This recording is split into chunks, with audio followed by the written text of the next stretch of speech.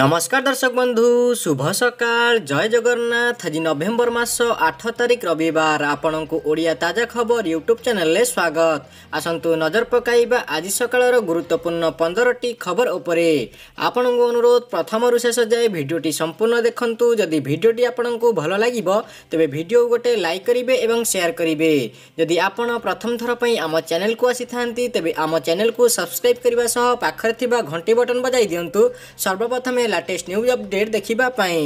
Number one ଶିକ୍ଷାବର୍ଷ ଆରମ୍ଭ ନ ହେଉଣୁ ରାଜ୍ୟରେ ମାଟ୍ରିକ ପରୀକ୍ଷା ପାଇଁ ଫର୍ମ ଫିଲ୍ଅପ୍ ପ୍ରସଙ୍ଗ ଜୋର ଧରିଥିବା ବେଳେ ଫର୍ମ ଫିଲ୍ଅପ୍ ବିଜ୍ଞପ୍ତିକୁ ପ୍ରତ୍ୟାହାର କରିବାକୁ ମାଧ୍ୟମିକ ଶିକ୍ଷା ପରିଷଦକୁ ନିର୍ଦ୍ଦେଶ ଦେଇଛନ୍ତି ସ୍କୁଲ ଓ ଗଣଶିକ୍ଷା ମନ୍ତ୍ରୀ ସମୀର ରଞ୍ଜନ ଦାସ। ପୂର୍ବରୁ ମାଧ୍ୟମିକ ଶିକ୍ଷା ପରିଷଦ ଦ୍ୱାରା ନଅ ତାରିଖରୁ ମାଟ୍ରିକ ପରୀକ୍ଷା ପାଇଁ ଫର୍ମ ଫିଲ୍ଅପ୍ କରିବାକୁ ଏକ ବିଜ୍ଞପ୍ତି ପ୍ରକାଶ କରିଥିଲା। ବିଏସ୍ସିର ଏହି ବିଜ୍ଞପ୍ତିକୁ ନେଇ ସମାଲୋଚନା ଉପୁଜିଥିଲା। କରୋନା ମହାମାରୀ ପାଇଁ ଯେତେବେଳେ ପାଠପଢ଼ା ଠପ୍ ହୋଇଛି ସେଠାରେ ପରୀକ୍ଷା କିପରି ହେବ ବୋଲି ପ୍ରଶ୍ନ ଉଠାଇ ସମାଲୋଚନା କରିଥିଲେ ଓଷ୍ଟା। ଶେଷରେ ମାଟ୍ରିକ ପରୀକ୍ଷା ଫର୍ମ ଫିଲ୍ଅପ୍ ପ୍ରକ୍ରିୟାକୁ ସ୍ଥଗିତ ରଖାଯାଇଛି। ଗଣଶିକ୍ଷା ମନ୍ତ୍ରୀଙ୍କ ନିର୍ଦ୍ଦେଶ ପରେ ମାଧ୍ୟମିକ ଶିକ୍ଷା ପରିଷଦ ପକ୍ଷରୁ ଏକ ବିଜ୍ଞପ୍ତି ପ୍ରକାଶ କରାଯାଇ ଫର୍ମ ଫିଲ୍ଅପ୍ ସ୍ଥଗିତ ରଖାଗଲା ବୋଲି ଘୋଷଣା କରାଯାଇଛି। আম্পর টু মহানদী ট্রিব্যুনালে মহানদী জল বিবাদ মামলায় শনিবার দিন শুনানি শেষ হয়েছে শুনানিরে মুখ্যতঃ দুইটি দাবি রক্ষিলা ওড়শা অণমৌসুমী সময়ের এক নির্দিষ্ট পরিমাণর জল হীরাকুদ জলভণ্ডারক ছাড়া নেই ওড়শার অন্তরীণ আবেদন উপরে বারম্বার বৈঠক বিফল হয়েছে উভয় পক্ষ মধ্যে কৌশি প্রকার সমাধানর বাট বাহারি না তেমন ডিসেম্বর মাসের কৌশি এক তারিখে মামলার চূড়ান্ত শুনানি করে উভয় পক্ষ দাবি অনুসারে রায় দেওয়া ওড়শা ଓଡ଼ିଶା ଦାବି କରିଛି। Number three Puri blue flag ବେଳାଭୂମିରେ ପର୍ଯ୍ୟଟକଙ୍କୁ ଓଡ଼ିଆର ରୁଚିପୂର୍ଣ୍ଣ ଖାଦ୍ୟ ତଥା ସି ଫୁଡ୍ର ମଜା ଦେବା ପାଇଁ ଓଟିଡିସି ପକ୍ଷରୁ ଦି ହ୍ୱାଇଟ୍ କ୍ରାଫ୍ କ୍ୟାଫେଟେରିଆର ଶୁଭାରମ୍ଭ ହୋଇଛି। ଶୁକ୍ରବାର ଓଟିଡିସି ଓଡ଼ିଶା ପର୍ଯ୍ୟଟନ ଉନ୍ନୟନ ନିଗମ ଅଧ୍ୟକ୍ଷା ଶ୍ରୀମୟୀ ମିଶ୍ର ଏହାକୁ ଉଦ୍ଘାଟନ କରିଥିଲେ। ପର୍ଯ୍ୟଟକମାନେ କେମିତି ଓଡ଼ିଆ ଖାଦ୍ୟ ଓ ସି ଫୁଡ୍ର ମଜା ନେଇପାରିବେ ତାହାକୁ ଲକ୍ଷ୍ୟ କରି ଓଟିଡିସି ପକ୍ଷରୁ ଏହି କ୍ୟାଫେଟେରିଆ ଖୋଲାଯାଇଛି। ଆଗାମୀ ଦିନରେ ଏହା ନିଶ୍ଚୟ ପର୍ଯ୍ୟଟକଙ୍କ ଦ୍ୱାରା ଆଦୃତ ହେବ ବୋଲି ଶ୍ରୀମୟୀ ମିଶ୍ର କହିଛନ୍ତି। ନମ୍ବର ଫୋର ଟ୍ରମ୍ପକୁ ହରାଇଲେ ଜୋ ବାଇଡେନ୍। ହ୍ୱାଇଟ୍ ହାଉସ୍ ଦଖଲ ରେସ୍ରେ ବାଜି ମାରି ନେଇଛନ୍ତି ଜୋ ବାଇଡେନ୍। ବିଶ୍ୱର ସବୁଠୁ ଶକ୍ତିଶାଳୀ ରାଷ୍ଟ୍ର ଆମେରିକାର ପରବର୍ତ୍ତୀ ରାଷ୍ଟ୍ରପତି ହେବେ ଜୋ ବାଇଡେନ୍ ଡେମୋକ୍ରାଟିକ୍ ଦଳର ପ୍ରାର୍ଥୀ ବାଇଡେନ୍ ରିପବ୍ଲିକାନ୍ ପ୍ରାର୍ଥୀ ଡୋନାଲ୍ଡ ଟ୍ରମ୍ପଙ୍କୁ ମାତ୍ ଦେଇ ଏହି ବିଜୟ ହାସଲ କରିଛନ୍ତି। ମ୍ୟାଜିକ୍ ନମ୍ବର ଦୁଇଶହ ସତୁରି ଟପିବା ସହ ବାଇଡେନ୍ ଆମେରିକାର ପରବର୍ତ୍ତୀ ରାଷ୍ଟ୍ରପତି ହେବା ନେଇ ଚିତ୍ର ପୁରା ସ୍ପଷ୍ଟ ହୋଇଛି। ନମ୍ବର ଫାଇଭ କଲେଜ ଓ ବିଶ୍ୱବିଦ୍ୟାଳୟ ଖୋଲିବା ନିମନ୍ତେ university grant commission UGC guideline ଜାରି କରିଥିବା ବେଳେ ଏକାଥରକେ ପଚାଶ ପ୍ରତିଶତ ଛାତ୍ରଛାତ୍ରୀଙ୍କୁ ଉପସ୍ଥିତ ଲାଗି ଅନୁମତି ମିଳିପାରିବ ବୋଲି ଦର୍ଶାଯାଇଛି। ଏଥିସହ ସୀମିତ ସଂଖ୍ୟାର ହଷ୍ଟେଲ ଖୋଲାଯିବ ଏବଂ କୋଭିଡ କଟକଣା ମାନିବା ଓ ସ୍ୱାସ୍ଥ୍ୟ ସଚେତନତା ଲାଗି ଗୋଟିଏ ରୁମ୍ରେ ଏକାଧିକ ପିଲାଙ୍କୁ ରହିବା ପାଇଁ ଅନୁମତି ଦିଆଯିବ ନାହିଁ ବୋଲି କୁହାଯାଇଛି।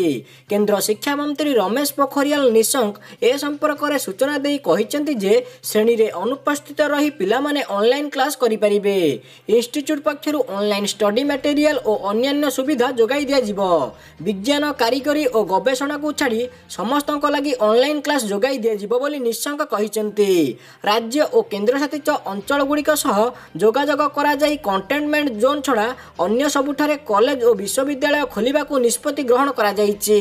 ୟୁଜିସି ପକ୍ଷରୁ ଏନେଇ ଏସ୍ଓପି ପ୍ରସ୍ତୁତ କରିଛି। ନମ୍ବର ସିକ୍ସ ଯଦି ଆପଣ ଦେଶର ସବୁଠୁ ବଡ଼ ବ୍ୟାଙ୍କ ଏସ୍ବିଆଇର ଗ୍ରାହକ ତେବେ ସତର୍କ ହୋଇଯାଆନ୍ତୁ। ଆଜି ଆପଣଙ୍କୁ ଅନଲାଇନ୍ ବ୍ୟାଙ୍କିଂରେ ହୋଇପାରେ ବଡ଼ ଅସୁବିଧା। କାରଣ ଏସ୍ବିଆଇ ତାହାର ଗ୍ରାହକମାନଙ୍କୁ ଭଲ ଇଣ୍ଟରନେଟ୍ ବ୍ୟାଙ୍କିଂ ସୁବିଧା ଦେବା ପାଇଁ ରବିବାର ଦିନ ଇଣ୍ଟରନେଟ୍ ବ୍ୟାଙ୍କିଂ ପ୍ଲାଟଫର୍ମକୁ ଅପଡେଟ୍ କରିବାକୁ ଯାଉଛି। ଏଥିପାଇଁ ଏସ୍ବିଆଇ ଗ୍ରାହକଙ୍କୁ ଆଜି ଇଣ୍ଟରନେଟ୍ ବ୍ୟାଙ୍କିଂ ଏସ୍ବିଆଇର ୟେନୋ ଓ ୟେନୋ ଲାଇଟ୍ ସେବାରେ ଅସୁବିଧାର ସମ୍ମୁଖୀନ ହେବାକୁ ପଡ଼ିପାରେ। ନମ୍ବର ସେଭେନ ବର୍ଷର ପ୍ରଥମ ସାଟେଲାଇଟ୍ ଇଓଏସ୍ ଜିରୋ ୱାନ୍ର ସଫଳ ପରୀକ୍ଷଣ କରିଛି ଇସ୍ରୋ। ଏହି ସାଟେଲାଇଟ୍କୁ Satish Dhawan space ସେଣ୍ଟରରୁ PSLV C forty nine rocket ଦ୍ୱାରା ଲଞ୍ଚ କରାଯାଇଛି। ଏହା ଆଡଭାନ୍ସ ଅବଜରଭେସନ୍ ଉପଗ୍ରହ ଯାହାର ସିନ୍ଥେଟିକ୍ ଏପାର୍ଚର ରାଡାର ଦିନ ଏବଂ ରାତିକୁ ଖାତିର ନ କରି ବାଦଲକୁ ଭେଦି ହାଇ ରିଜଲ୍ୟୁସନ୍ ଫଟୋ ଉଠାଇବାର କ୍ଷମତା ରଖିଛି। ଏହା ବ୍ୟତୀତ ନଅଟି ବିଦେଶୀ ସାଟେଲାଇଟ୍ ବି ଲଞ୍ଚ କରାଯାଇଛି। ଏହି ସଫଳତା ଉପରେ ଇସ୍ରୋର ଅଧ୍ୟକ୍ଷ କେ ଶିବନ କହିଛନ୍ତି କି ଏହି ମହାମାରୀ କରୋନା ସମୟରେ ଇସ୍ରୋର ଟିମ୍ ସମସ୍ତ କୋଭିଡ୍ ନିର୍ଦ୍ଦେଶନାମା ମାନି କାମ କରିଛନ୍ତି। ଏହି ସମୟରେ ଇସ୍ରୋର ସମସ୍ତ କର୍ମଚାରୀଙ୍କୁ ଗୁଣବତ୍ତାପୂର୍ଣ୍ଣ କାମ କରିବାର ଦେଖିବା ସବୁଠାରୁ ଖୁସିର କଥା। ସେ ଆହୁରି ମଧ୍ୟ କହିଛନ୍ତି କି ଏହି ମିଶନ ଇସ୍ରୋ ପାଇଁ ବହୁତ ଖାସ୍ ଏବଂ ଅସାଧାରଣ। ନମ୍ବର ଏଇଟ୍ ବିହାରରେ ବିଜେପି ଓ ଜେଡିୟୁ ମେଣ୍ଟକୁ ଲାଗିପାରେ ବଡ଼ ଝଟକା କ୍ଷମତାରୁ ବେଦଖଲ ହୋଇପାରନ୍ତି ନୀତିଶ କୁମାରଙ୍କ ସରକାର ନିର୍ବାଚନ ପରେ ବିଭିନ୍ନ ଜାତୀୟ ଗଣମାଧ୍ୟମ ପକ୍ଷରୁ କରାଯାଇଥିବା ଏକ୍ଜିଟ୍ ପୋଲରେ ଏଭଳି ଆକଳନ କରାଯାଇଛି। କିଛି ସର୍ଭେ ସଂସ୍ଥା ବିହାରରେ ଝୁଲା ବିଧାନସଭା ହେବ ବୋଲି କହିଥିବା ବେଳେ ଅଧିକାଂଶ ସଂସ୍ଥା ତେଜସ୍ୱୀ ଯାଦବଙ୍କ ନେତୃତ୍ୱାଧୀନ ମହାଗଠବନ୍ଧନ ବିହାରରେ ସରକାର ଗଠନ କରିବ ବୋଲି ଆକଳନ କରିଛନ୍ତି।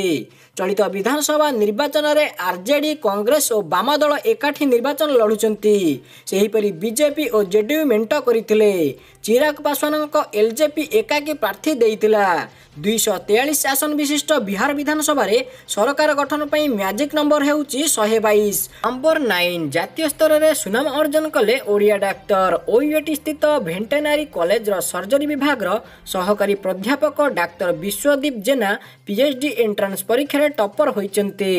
ଚଳିତ ବର୍ଷର ଭାରତୀୟ କୃଷି ଅନୁସନ୍ଧାନ ଓ ଗବେଷଣା ପରିଷଦ ଆନୁକୂଲ୍ୟରେ ହୋଇଥିବା ପରୀକ୍ଷାରେ ସାଧାରଣ ବା ସର୍ବଭାରତୀୟ ସ୍ତରରେ ପ୍ରଥମ ସ୍ଥାନରେ ରହିଛନ୍ତି। ସୂଚନାଯୋଗ୍ୟ ଡାକ୍ତର ବିଶ୍ୱଦୀପ ଜେନା ବନ୍ୟପ୍ରାଣୀ ସର୍ଜରୀରେ ସାରା ରାଜ୍ୟ ତଥା ଦେଶରେ ଅନେକ କୀର୍ତ୍ତିମାନ ସ୍ଥାପନ କରିଛନ୍ତି। ଡାକ୍ତର ବିଶ୍ୱଦୀପ ଭାରତରେ ଯେକୌଣସି ସରୀସୃପ ପାଇଁ ସିଟି ସ୍କାନ୍ କରିବାରେ ପ୍ରଥମ ବ୍ୟକ୍ତି ହୋଇଥିଲେ। ସେହିପରି ସାପମାନଙ୍କ ଚିକିତ୍ସା ପାଇଁ ବନ୍ୟପ୍ରାଣୀ ସର୍ଜରୀରେ ଜାତୀୟ ସମ୍ମିଳନୀରେ ସ୍ୱର୍ଣ୍ଣ ପଦକ ମଧ୍ୟ ହାସଲ କରିଛନ୍ତି। ନମ୍ବର ଟେନ୍ ଗତ ସେପ୍ଟେମ୍ବର ମାସରେ ଭାରତ ସରକାରଙ୍କ ପକ୍ଷରୁ ପବ୍ଜି ମୋବାଇଲ ଏବଂ ପବ୍ଜି ମୋବାଇଲ ଲାଇଟ୍ ବ୍ୟାନ୍ କରାଯାଇଥିଲା। ଏହାପରେ ଅକ୍ଟୋବର ତିରିଶ ତାରିଖରେ ଭାରତରେ ସମ୍ପୂର୍ଣ୍ଣ ଭାବରେ ବନ୍ଦ ହୋଇଗଲା ପବ୍ଜି ମୋବାଇଲ କାରଣ ଭାରତୀୟ ସର୍ଭରକୁ ବନ୍ଦ କରିଦେଲା କମ୍ପାନୀ ଏହାପରେ ଏବେ ପୁଣି ଶୁଣିବାକୁ ମିଳୁଛି କି ଡିସେମ୍ବର ମାସ ସୁଦ୍ଧା ପବ୍ଜି ମୋବାଇଲ ଭାରତରେ ଲଞ୍ଚ ହୋଇପାରେ। ଇଂରାଜୀ ଟେକ୍ ୱେବସାଇଟ୍ ଟେକ୍ କ୍ରଞ୍ଚର ରିପୋର୍ଟ ମୁତାବକ ଦୁଇହଜାର କୋଡ଼ିଏ ଶେଷ ସୁଦ୍ଧା ଭାରତରେ ଫେରିପାରେ ପବ୍ଜି ମୋବାଇଲ ଭାରତକୁ ପୁନର୍ବାର ଫେରିବାକୁ ନେଇ କମ୍ପାନୀ ପକ୍ଷରୁ ଆନୁଷ୍ଠାନିକ ଘୋଷଣା କରାଯାଇପାରେ ବୋଲି ଆଶା କରାଯାଉଛି। ରିପୋର୍ଟରେ କୁହାଯାଇଛି କି ପବ୍ଜି ମୋବାଇଲ ଭାରତରେ ଫେରିବାକୁ ନେଇ ଗ୍ଲୋବାଲ କ୍ଲାଉଡ୍ ସର୍ଭିସ ପ୍ରୋଭାଇଡରଙ୍କ ସହ ଆଲୋଚନା କରୁଛି। ଏହା ବ୍ୟତୀତ ଅନେକ ଷ୍ଟ୍ରିମର ଉପରେ ବି ସେ କଥାବାର୍ତ୍ତା ଚାଲିଛି। ନମ୍ବର ଇଲେଭେନ ଦୀର୍ଘ ସାତ ବର୍ଷ ପରେ ଜିମେଲର ଲୋଗୋରେ ପରିବର୍ତ୍ତନ କରିଛି ଗୁଗୁଲ ଜିମେଲ ସହିତ ଗୁଗୁଲ ଏହାର ଅନେକ ଆପ୍ସର ଲୋଗୋରେ ପରିବର୍ତ୍ତନ ଆଣିଛି। ତେବେ ସୋସିଆଲ ମିଡିଆରେ ଗୁଗୁଲର ଏହି ନିଷ୍ପତ୍ତିକୁ ବିରୋଧ କରାଯାଉଛି ଏବଂ ଲୋକମାନେ ଏହାର ମଜାକ ମଧ୍ୟ ଉଡ଼ାଉଛନ୍ତି। ଅନେକ ଆପ୍ସର ଲୋଗୋ ବଦଳିବା ପରେ ୟୁଜର୍ସମାନେ ନିଜ ଫୋନରେ ଜିମେଲ ଏବଂ ଗୁଗୁଲ ଡ୍ରାଇଭ୍ ଭଳି ଆପ୍କୁ ଖୋଜିବାକୁ ପଡ଼ୁଛି। ନୂଆ ଗୁଗୁଲ ପେ ଲୋଗୋ କେବଳ ଭାରତର କିଛି ୟୁଜର୍ସଙ୍କ ପାଇଁ ବଦଳିଛି।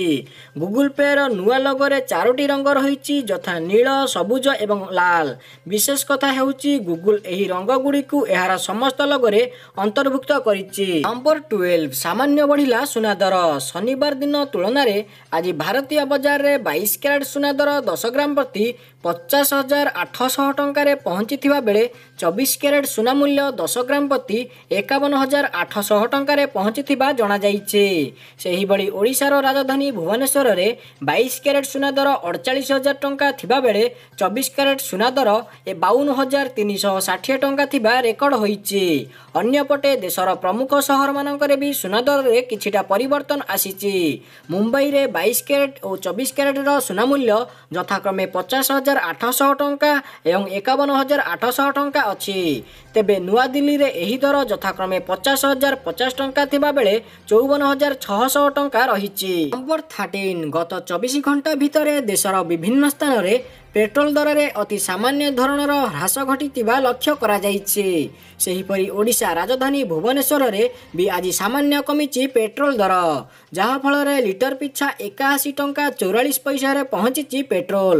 ସେହିପରି ଡିଜେଲ ମୂଲ୍ୟ ବି ସାମାନ୍ୟ ବୃଦ୍ଧି ପାଇ ପ୍ରତି ଲିଟର ପିଛା ସତସ୍ତରୀ ଟଙ୍କା ଏକ ପଇସାରେ ପହଞ୍ଚିଥିବା ନେଇ ରେକର୍ଡ ହୋଇଛି। ସୂଚନା ଅନୁଯାୟୀ ଗତ କିଛି ଦିନ ହେବ ଉଭୟ ପେଟ୍ରୋଲ ଓ ଡିଜେଲ ମୂଲ୍ୟରେ ସେପରି କୌଣସି ବଡ଼ ଧରଣର ପରିବର୍ତ୍ତନ ଆସିନାହିଁ। Number fourteen Indian super league football ଆଇଏସ୍ଏଲ୍ର ଆଗାମୀ ସଂସ୍କରଣରେ ଓଡ଼ିଶା ଏଫ୍ସିର ନେତୃତ୍ୱ ନେବେ ଷ୍ଟିଭେନ୍ ଟେଲର ଶନିବାର ଦିନ ଆୟୋଜିତ ଦଳୀୟ ବୈଠକରେ ମୁଖ୍ୟ କୋଚ୍ ଷ୍ଟୁଆର୍ଡ ବାକ୍ସକଟର ଏନେଇ ସୂଚନା ଦେଇଛନ୍ତି। ନ୍ୟୁ କ୍ୟାସେଲ୍ ୟୁନାଇଟେଡ୍ର ପୂର୍ବତନ ଡିଫେଣ୍ଡରଙ୍କ ଅଭିଜ୍ଞତା ଦଳକୁ ଫାଇଦାରେ ରଖିବ ବୋଲି ଆଶା କରାଯାଉଛି। ଷ୍ଟିଭେନ୍ ତାଙ୍କୁ ପ୍ରଦାନ କରାଯାଇଥିବା ଗୁରୁଦାୟିତ୍ୱ ସଫଳତାର ସହ ତୁଲାଇବେ ବୋଲି କହିଛନ୍ତି। ତେଇଶ ନଭେମ୍ବରରେ ହାଇଦ୍ରାବାଦ ଏଫ୍ସି ବିପକ୍ଷରେ ଓଡ଼ିଶା ଏଫ୍ସି ଅଭିଯାନ ଆରମ୍ଭ କରିବ ପ୍ରଶିକ୍ଷଣ ଶିବିରରେ ମଧ୍ୟ ଷ୍ଟିଭେନ୍ ଯୁବ ଖେଳାଳିମାନଙ୍କୁ ଗୁରୁତ୍ୱପୂର୍ଣ୍ଣ ଟିପ୍ସ ଦେଉଥିବା ଦେଖିବାକୁ ମିଳିଥିଲା। ନିଜ ପ୍ରଦର୍ଶନ ଉପରେ ବିଶ୍ୱାସ ରଖିଲେ ସବୁକିଛି ସମ୍ଭବ ବୋଲି ଏହି ଅଭିଜ୍ଞ ଡିଫେଣ୍ଡର ଜଣକ କହିଛନ୍ତି। ଆଜି ପାଇଁ ସକାଳର ଖବର ଏତିକି। ରହୁଛି ନମସ୍କାର।